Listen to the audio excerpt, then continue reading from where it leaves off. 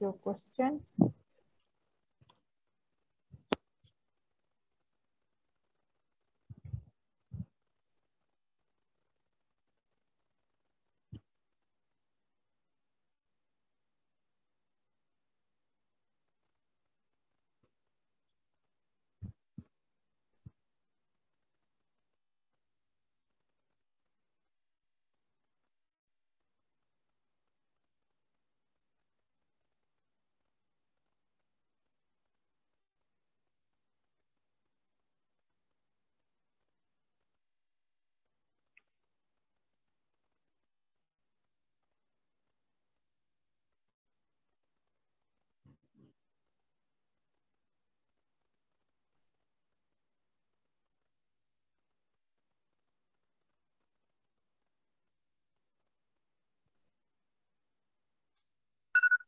Right. So if you have read and understood considering the critical care scenario, kindly tell me how do you think this patient should be managed now?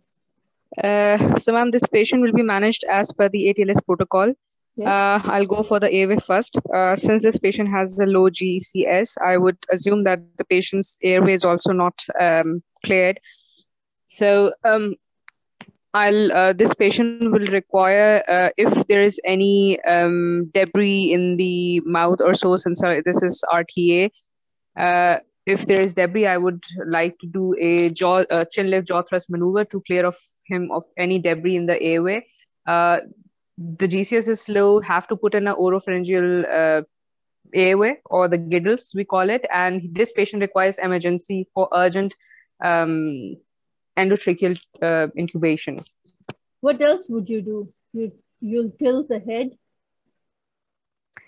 Uh, ma'am, uh, we'll tilt the head. The bed. Yes. Uh, yeah, yeah. So we'll uh, put the head end up at uh, say 30 degrees. Yes.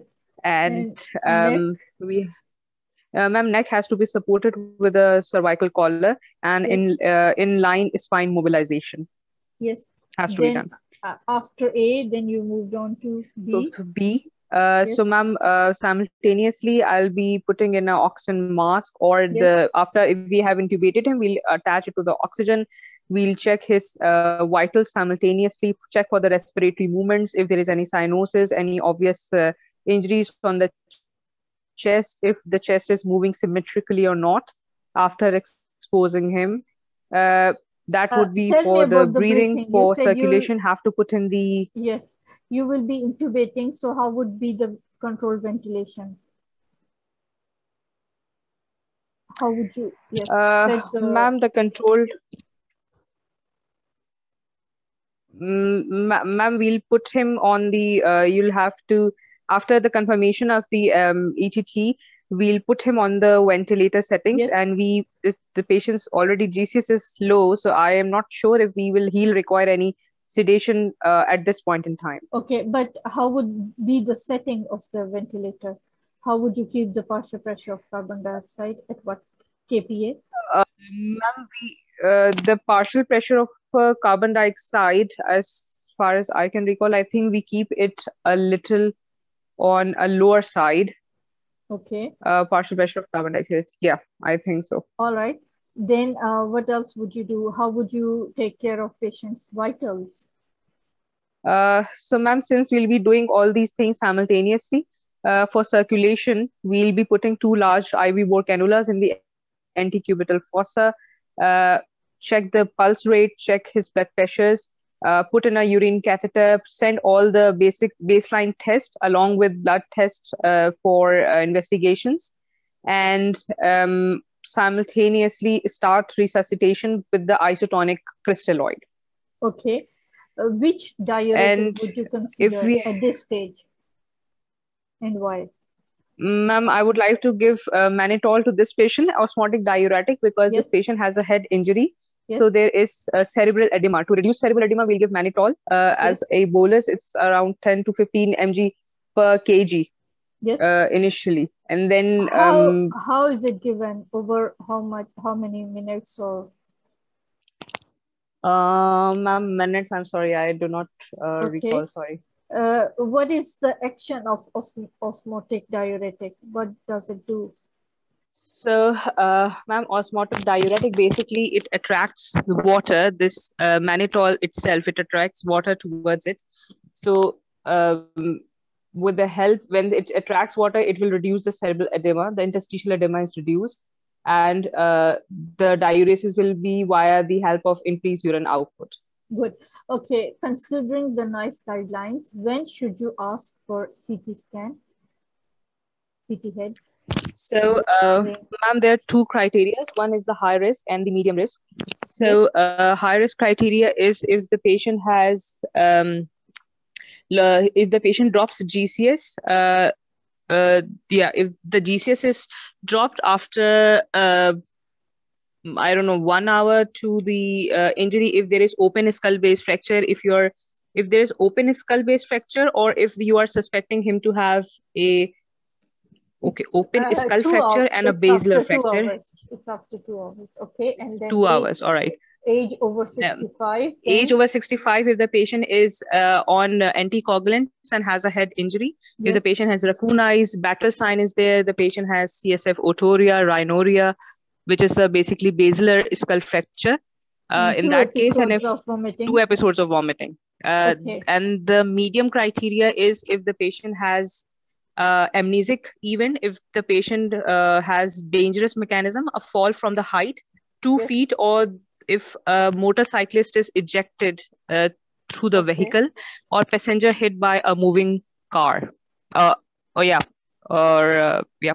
Can you please tell me what caused drop of glasgow coma scale in this patient? So ma'am most likely this patient is having a um, epidural um, hematoma extradural i'm sorry extradural hematoma how would you this know, is a lucid interval it is extradural uh, how would you expect I'll, I'll, it to find on ct scan can you help me to read this so ma'am uh, this is uh, we have a large hyperdense area uh, yes. which is biconvex uh, okay. there is a midline shift and there is compression on the ventricle in this um, CT scan image. Good. All right. Can you please tell me, is there a way that uh, you can measure intracranial pressure? Uh, Ma'am, intracranial pressure can be measured with the help of uh, intraparenchymal uh, probes. Uh, there are interventricular drains, uh, subparenchymal catheters. Uh, there can be um, extraventricular drains or catheter, we call it. can you tell me the pathophysiology behind the increased intracranial pressure?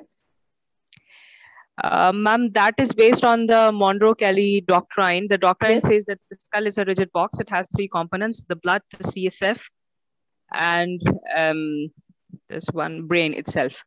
So okay. when one component is increased, uh, the other component decreases as a compensation. But when there is persistently rise in one component, there are the uh, the brain fails to decompensate, and a small rise in one component uh, will cause a tremendous rise in the intracranial pressure. Good. Okay. Can you please tell me how should and uh, okay uh, what causes dilatation of the in case of increased intracranial pressure? What causes the dilatation of the pupil? Uh, ma'am, that will be because of the um, oculomotor nerve, uh, the compression on the oculomotor nerve, uh, yes. because of which there will be dilatation. Okay, if uh, you yes. have to, not in not saying in this case, but if you have to take the lumbar puncture, what are the layers uh, needle will pierce from outside to inside? So there will be skin, there will be subcutaneous fat, there is a, a posterior spinous ligament, interspinous ligament. Uh, then you have a ligamentum flavum. Uh, then you have epidural space. You enter the um, yeah posterior spinous, interspinous ligamentum flavum, epidural space, and then you enter the dura, and then you'll have the um, subdural space, and then the arachnoid mater uh, or the CSF. Good. Okay. right, good. Okay, uh, right. Very good. Thank you. Thank you, ma'am.